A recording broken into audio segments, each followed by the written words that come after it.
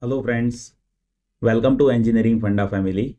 In this video, I'll explain you antenna field zones with great clarity. Based on antenna field zones, one can understand radiation characteristics of antenna.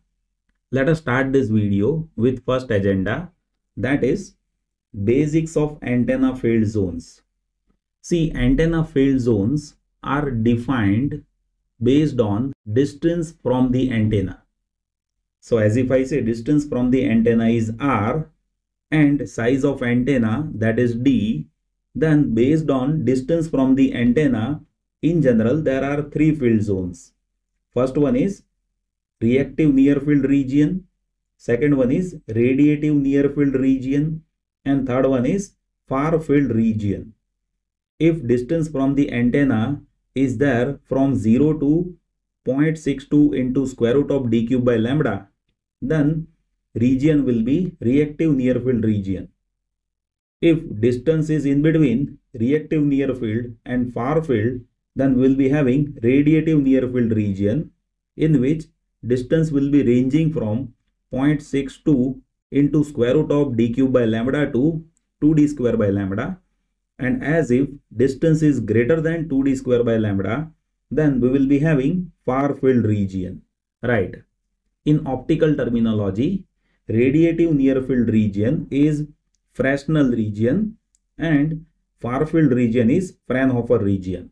But here we will be talking about electromagnetics terminologies only right? See based on field zones we will be having radiation characteristics of antenna. So here if you talk about antenna, then here I have placed antenna that is having size D, right? And here we are considering distance from 0 onwards. So you can observe, see from 0 to 0.62 into square root of d cube by lambda, this region that belongs to near field region, right? That is reactive near field region in between 0.62 into square root of d cube by lambda to 2d square by lambda. Here we have radiative near field region and if distance is greater than 2d square by lambda then we have far field region. If you observe radiation characteristics then here you can observe see nearer to antenna. Here we don't have proper radiation pattern. So randomness will be there in the radiation pattern and as you move far from the antenna radiation pattern that is getting initiated to formed right? So here you can observe somewhat radiation pattern that is formed in radiating near field region right? And if you go in far field region then proper radiation pattern will be there. So if you measure radiation pattern then you'll have to measure radiation pattern at distance greater than 2d square by lambda which is far field region in which you can observe this is major lobe and these are minor lobes right so major lobe and minor lobes those can be clearly observed in far field region only. Here there is no fixed boundaries but lump sum data that is given like if distance is greater than 2d square by lambda then but obviously you will be having proper radiation pattern right? But if distance is lower than 2d square by lambda then See from 0.62 into square root of d cube by lambda to 2d square by lambda, we have radiating near field region in which somewhat radiation pattern is formed over here. But in reactive near field region, radiation pattern is having randomness, right? There is no formation of radiation pattern over here. Now, I'll explain you all the parameters related all three different regions. So let us initiate this learning with first region that is reactive near field region. See that is there in the vicinity of 0 distance to 0.62 into square root of d cube by lambda.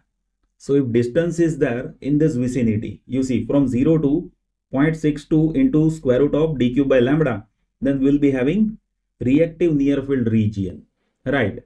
And in this region, you will be observing that electric field and magnetic field that is not there in phase right see usually we transmit em waves in the space so as and when you transmit em wave in the space at that time electric field and magnetic field should be there in phase with each other. But in the reactive near field region, there will be phase difference of pi by 2 exactly at the antenna and as you move far from the antenna that phase difference will decrease. If you observe EM waves, if you observe EM waves, then you will be observing E field and H field that is there in phase. You see this is E field and this is H field. So both are in phase with each other. But that will be happening in case of far field only. In reactive near field region with electric field and with magnetic field, there will be phase difference of pi by 2 and that will happen because of inductive components right? So as if you talk about near field region with reactive near field region if you talk about reactive near field region then here we have higher inductive components in this region where there will be phase difference of pi by 2 to pi by 8 at this instant at zero distance there will be pi by 2 phase in between E and H field. And as you move far from here that phase difference in between E field and H field will decrease. It will be up to pi by 8 over here right? One more thing that you need to know. See if you have very short dipole radiator like Hertzian dipole in that case this outer boundary that is limited to lambda by 2 pi. The reason is short dipole is having very small dimensions at that time you don't need to follow this relation of 0.62 into square root of d cube by lambda right? The reason is this is very small value in that situation. So in case of very short dipole radiator outer boundary is limited to lambda by 2 pi right?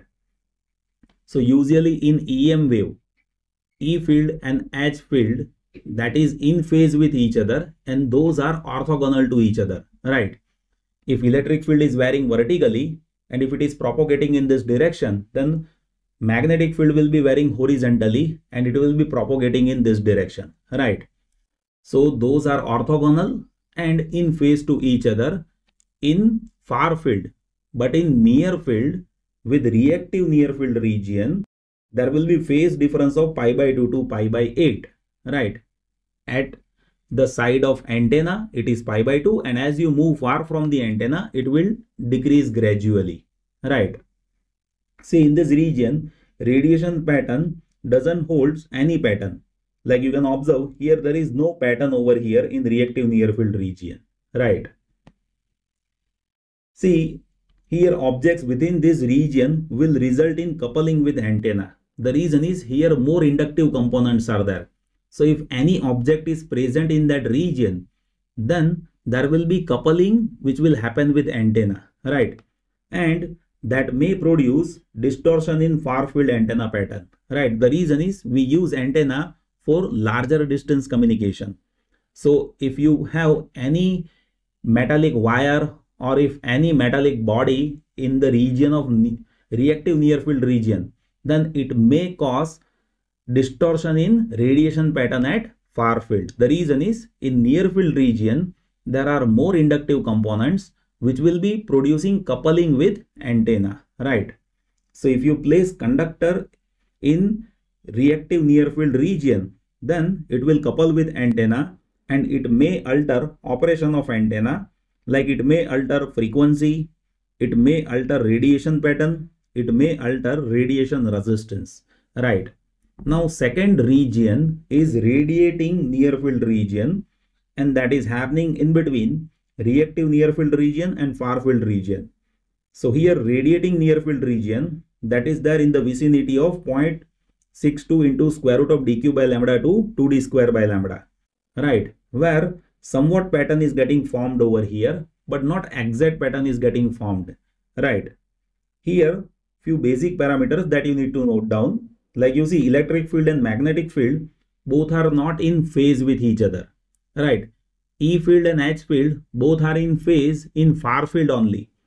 In radiating near field region there is a phase error about pi by 8 so it will start from pi by 8 and it will go up to 0 right? So it will start from pi by 8 over here and it will go up to 0 over here. And there will be zero phase error in far field region right So that is how things are there. See, this region may not be existing if antenna size is very small.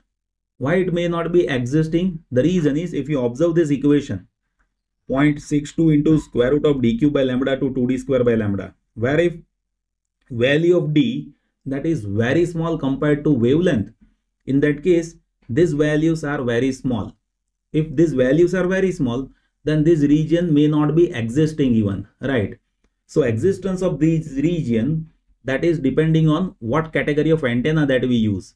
Like this region is existing in case of parabolic reflector antenna. The reason is in parabolic reflector antenna, we use large size antenna in which diameter of antenna is there in terms of few meters. So in that situation, this region may be existing, right? See, this region is having improper radiation characteristics that you can observe here. See, this is improper radiation characteristics where you don't have proper side lobes over here and you don't have proper minor lobes over here. Right. So somewhat pattern is getting formed over here, but not proper pattern that you will be observing over here. Right.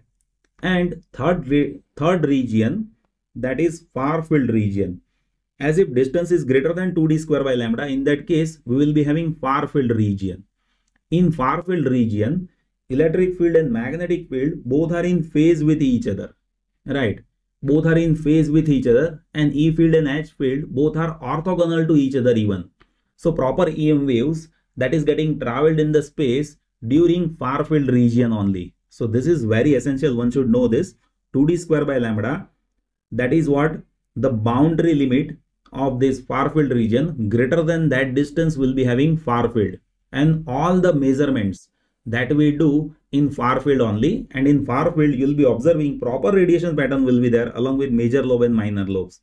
Right so all the measurement of radiation pattern that we do it in far field region only. And you can observe here you see proper radiation pattern that is there in far field where this is major lobe and these are minor lobes.